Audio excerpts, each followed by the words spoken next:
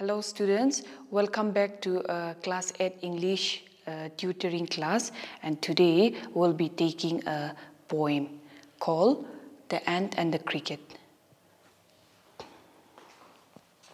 So students, if you can, uh, uh if, if you can have your textbooks with you, because we will be referring to some certain lines in the poem and we will also be reading the poem. So if you can have your textbooks, page number 21.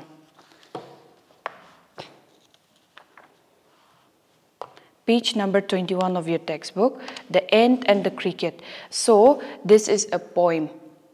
Some people, P-O-E-M. For this, some people people, they prefer saying poem. Poem is British English. And for some, they prefer saying poem. But both are correct, okay? So for me, I prefer saying poem, all right? Okay, now, so before uh, starting the lesson, we will do a re reading session of the poem, page number 21. The Ant and the Cricket a silly young cricket, accustomed to sing through the warm sunny months of gay summer and spring, began to complain when he found that at home his cupboard was empty and winter was come. Not a crumb to be found on the snow covered ground, not a flower could he see, not a leaf on a tree. Oh, what will become, says the cricket, of me. At last, by starvation and famine mad bold, all dripping with wet and all trembling with cold, away he set off to a miserly ant to see if, to keep him alive, he would grant him shelter from rain and a mouthful of grain. He wished only to borrow, he'd repay it tomorrow.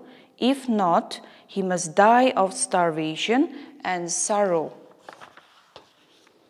Says the cricket to the says the ant to the cricket, I'm your servant and friend, but we ants never borrow, we ants never lend. But tell me, dear cricket, did you lay nothing by when the weather was warmed? Quoth the cricket, not I. My heart was so light that I sang day and night. For all nature looked gay. You sang, sir, you say. Go then, says the ant, and dance the winter away. Thus, ending, he hastily lifted the wicket, and out of the door turned the poor little cricket. Fox called this a fable. I'll warrant it true. Some crickets have four legs and some have two, adapted from Aesop's fable. So students, when I read the poem just now, I was doing listening, uh, reading session. And for you, you are doing listening session, isn't it? Yes, so if you can go back to your textbook, page number 21. Let us begin with the poem. Look into the first paragraph, the introduction of the poem. A fable is a story, often with animals as characters, that convey a moral. This poem about an ant and a cricket contains an idea of far-reaching significance, which is as true of a four-legged cricket as of a two-legged one. Surely you have seen a cricket that has two legs. So this poem is said to be a fable.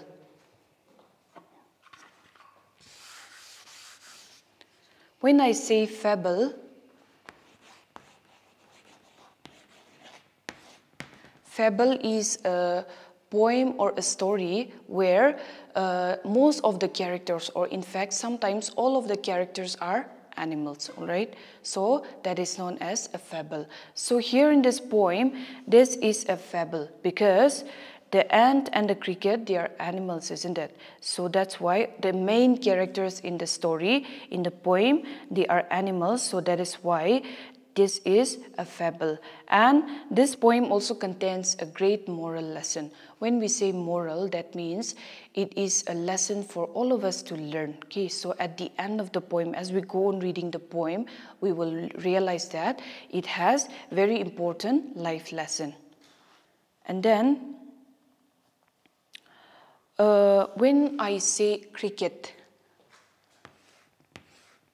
you must all know what is a grasshopper, isn't it? That hops uh, on the leaves, that is green in color, right? So, uh, grasshopper and cricket, they are a little similar, right? But this one, this is a little brownish in color. It has four legs, and then uh, the usually the males.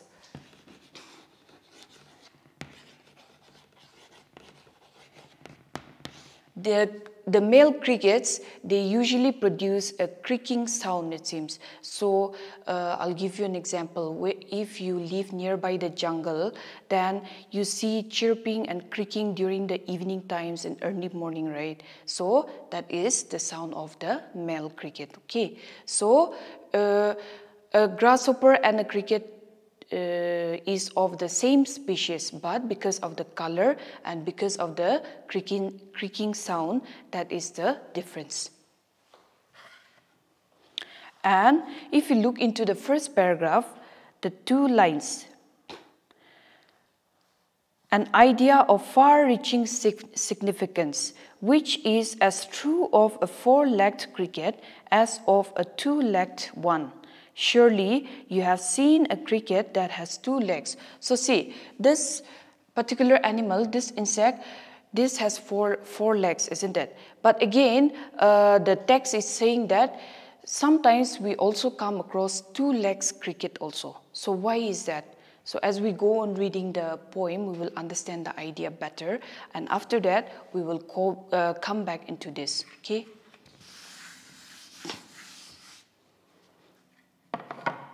Now you have understood and known what is uh, cricket, and I hope you all know what is an ant, isn't it? It is a very hardworking small animal, right? So, this is a poem, a story about an ant and a cricket. So now let us go into the first part of the poem. A young, a silly young cricket accustomed to sing. So once, now the story is beginning. Once, it seems there was a very young, uh, silly cricket, okay?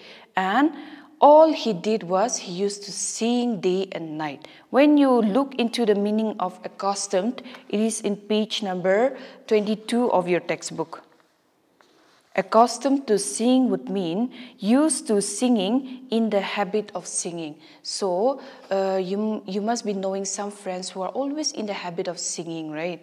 So same with the cricket. He always used to sing and walk along. Through the warm, sunny months of gay summer and spring. So he he used to sing day and night and then spend his summer and spring season. So nowadays we just got over with the spring season and now summer has arrived, isn't it? So all this time, all this weather, all this climate and all these times, this cricket he used to sing about, okay? Began to complain when he found that at home his cupboard was empty and winter has come. So now see students, we all know that there are four seasons, right? So uh, it begins with spring and then summer and then autumn and then winter, right? So all along when the days were sunny, this cricket, he went along singing about and after the summer season got over, after the sunny days got over, winter came. And then after winter came, he started complaining because he said that his cupboard was empty. So here, cupboard would mean um, a piece of furniture where there is a lot of shelves. So you can put a lot of things in the shelf right? So that is a cupboard. So his cupboard was empty would mean he had nothing to eat and he hadn't reserved anything for the winter. And he then realized that winter had come not a crumb to be found on the snow covered ground. So, see, when the winter time comes, it is all covered with snow, trees are no more green, and then there is less vegetation, right? And then everyone prefers to uh, stay indoors, isn't it? So, in the, on the ground, there was not even a single piece of food to be found. Everything was empty and then everything was covered with snow. The, uh, we couldn't see the ground because the, snow, uh, the ground was all covered with snow. Not a flower could he see not a leaf on a tree. So we all know that flowers bloom during the spring season and summer season, right? So now is the time that flowers bloom. But in the winter time, we see very less flowers blooming, isn't it? So that is why the cricket could not see even a single uh, flower blooming. And then the trees were also all empty. They just had the branches and the leaves had all fallen because it was winter time.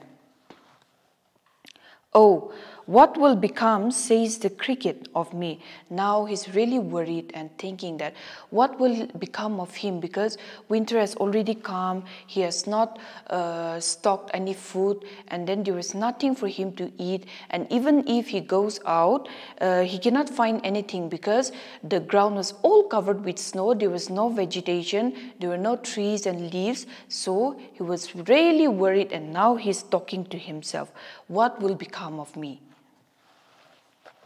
At last, by starvation and famine, made bold. So, the, the meaning of famine is unavailability of food, scarcity of food, having nothing to eat. That means uh, when the crops doesn't do well or when there is nothing to eat, then a kind of famine uh, uh, starts in the land okay? And then because of the uh, famine starvation will come. Starvation means suffering or death caused by lack of food. So when you don't have food for many days for say one two weeks then you will definitely die isn't it? Because your uh, your body will have no more energy to survive. So because of extreme starvation and then famine famine because there was no food was available on the land remember because it was winter time so because of that because of these extreme conditions um, this made the cricket very bold. Bold would mean here brave. That means he had to be brave and do something because if, if he don't do anything then he would definitely die. All dripping with wet and trembling with cold, away he set off to a miserly ant, so dripping with wet because he was walking outside. And then remember, this is winter time, so it was snowing. And then all trembling with cold because uh, here in Kohima also it's very cold during the winter time right? So we go out less and then we prefer to stay indoors by the fireplace right? So it was very cold and snowing outside. That's why as the cricket was walking in search of food he got all wet and now he was shivering. He was trembling with cold.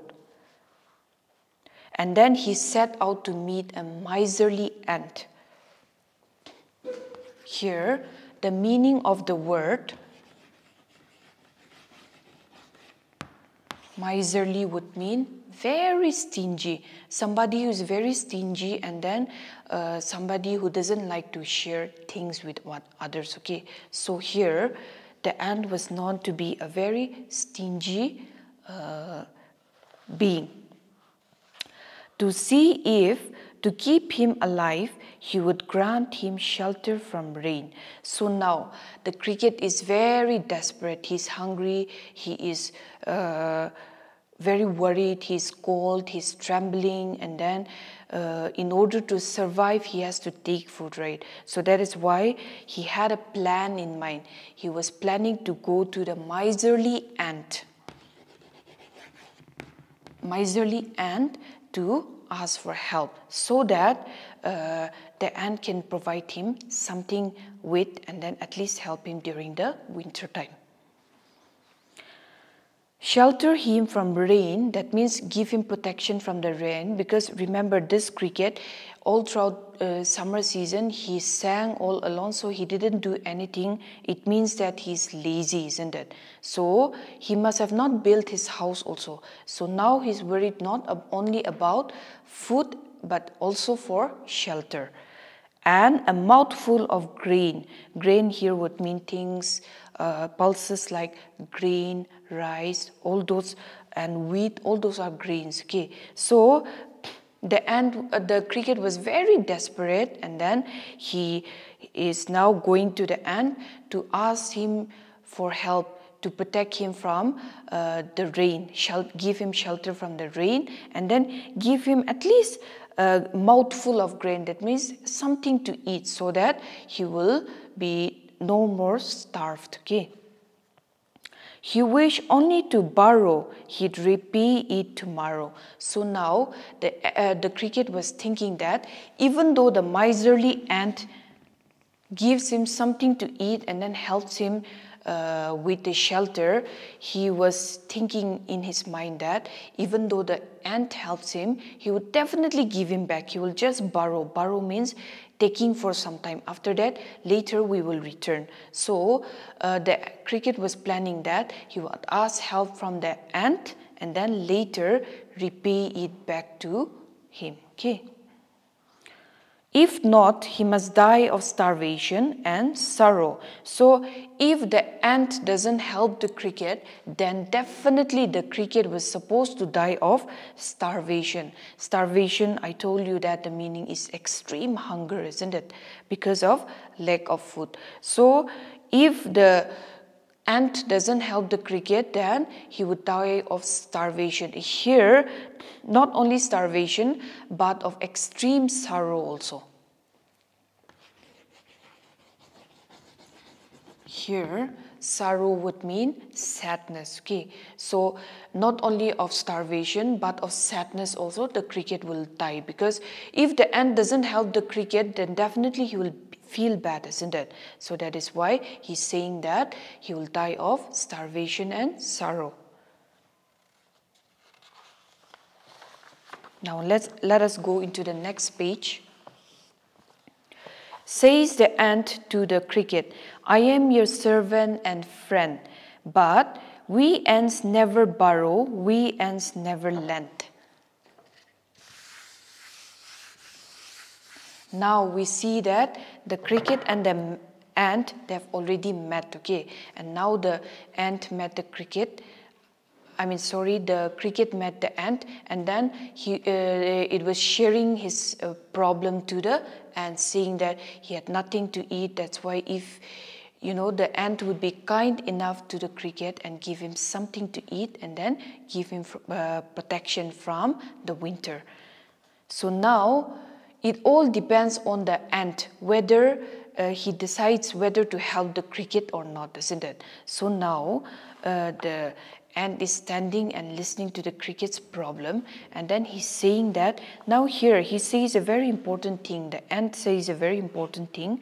We ants never borrow. We ants never lend. So remember i told you that the ant is a miserly ant isn't it? So that is why uh, for the ant they have a policy that they will ne never take from others nor they will give anybody okay so that is their policy but tell me, dear cricket, did you lay nothing by when the weather was warm? So now the ant is really curious because see, ants are supposed to be very hardworking animals, isn't it? So now when the cricket told the ant that uh, he didn't have anything to eat, the ant was really shocked okay? Because for them they pile up all throughout the summer. They work very hard. If you see the ants uh, you know moving on the ground they always carry something. And they carry loads which are you know three or four times bigger than their own size, isn't it? So, and they are very hardworking, so they have stocked everything for the winter. But it, for the cricket, he was so empty-handed. So it was really a shock for the ant that the cricket hadn't saved anything. Okay, so that's why he is inquiring now. Okay, so now I understand your problem. But when the weather was fine, when it was summer and springtime, didn't you save anything for the winter? The ant is now inquiring the cricket, right? Caught the cricket, not I. So see, caught here would mean said. So here the cricket is saying that not I, I didn't save anything for the winter. So he was very frank and direct. It just with two simple words, not I. He's saying that he didn't save anything for the winter. My heart was so light that I sang day and night. So see, now the cricket is uh, telling the ant that my heart was so light, I didn't think of anything. There was no worry in my heart. That is why I didn't think of anything to save. And then all I did was sing all throughout day and night. Okay. For all nature looked gay, you sang, sir, you say. So now again the ant is very surprised because see, ant and cricket. As the poem progresses, we can see that these two are totally opposite cre creatures. One is very hardworking, you know, he saves everything for the future.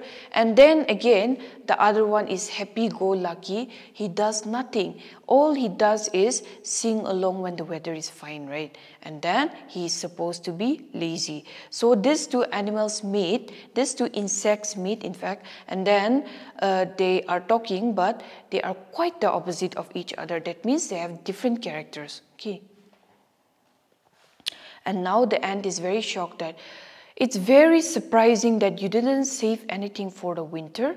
I'm very shocked by your reply. Now the ant is saying, Go then, says the ant, and dance the winter away. So now, uh, the ant in the beginning must have thought that, you know, the cricket must have had some problem maybe at home or in his life. That is why he didn't work during the summertime. But the reply that uh, the cricket gave the ant, it really annoyed him. Okay? It really angered him. That is why now the ant is telling cricket that go now. Now it's the winter time, you haven't saved anything, and you told me that all throughout uh, the summer season you're being lazy and singing along. So now even during the winter you go and sing. Now also you be happy and then you can dance the winter away. That means just like you behaved during the summer season, just like you acted during the summer season, you should be same during even the winter season also. Now the end is it's like kind of scolding also, isn't it? Now the ant is scolding the cricket to dance the winter away. Okay. Thus, ending, he hastily lifted the wicket and out of the door turned the poor little cricket. So now at the end, he hastily, here hastily would mean very, you know, um, very fa- in a very fast manner, he lifted the uh, cricket and then he pushed the cricket out of the door. That means he's sending, the ant is sending the cricket away. Folks call this a fable, I'll warrant it true. Some crickets have four legs and some have four. So now folks would mean many, many people are saying that this story is a, a fable. That means it has a moral lesson, it has animals and insects in this story, in this poem. And then I also guarantee, now the poet is saying that, I also guarantee that this is true. But again, some crickets have four legs.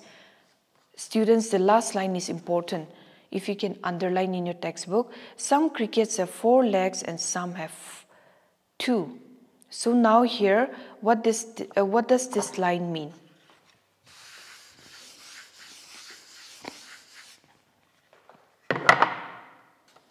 Some crickets have four legs. some crickets have four legs and some two.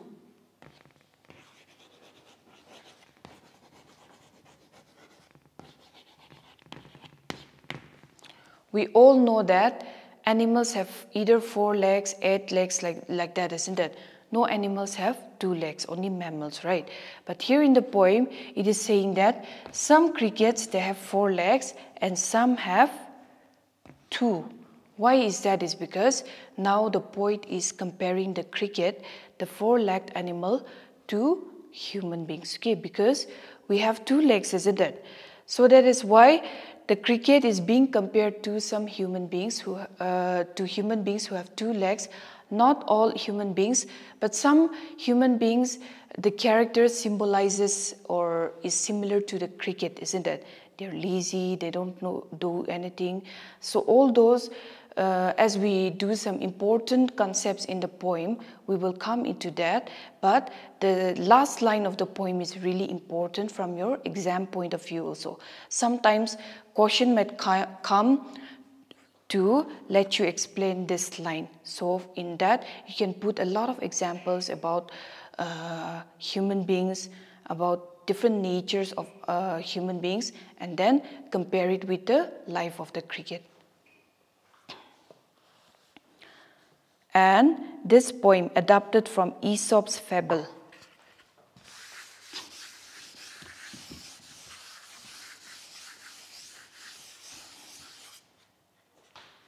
So we all learned that uh, fable here means containing animal characters, isn't it? So here, this poem is adapted from Aesop's fable.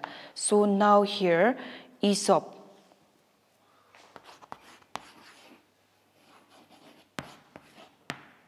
In the ancient uh, times in Greece, Aesop was a person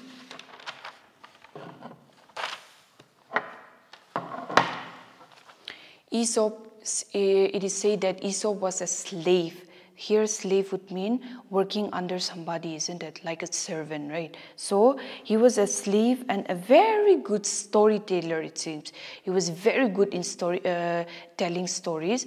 See this poem, the story about the ant and the cricket is also very interesting, isn't it? So he was very good in storytelling and he lived between 1620 and 620, sorry, 620 and 564 BC. So this Aesop lived between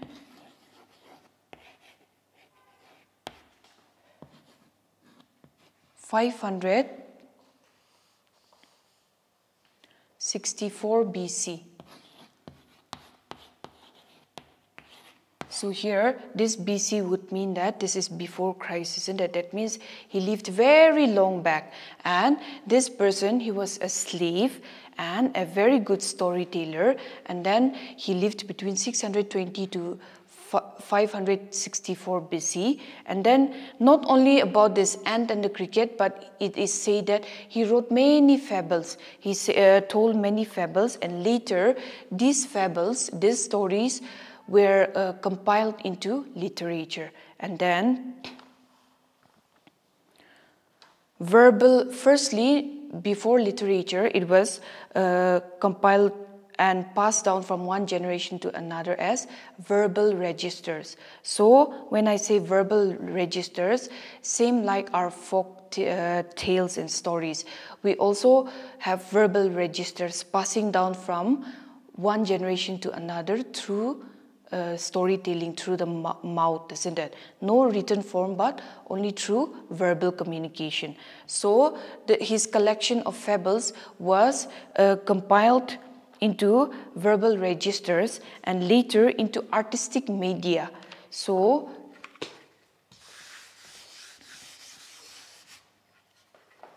when I say artistic media,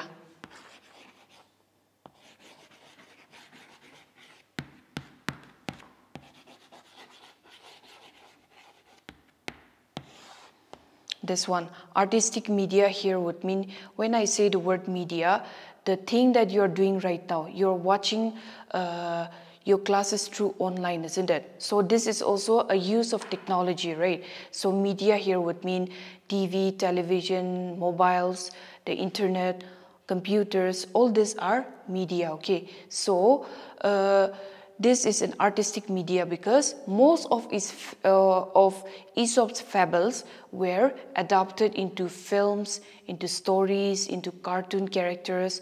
Like we can see Walt, Walt Disney's production also, right?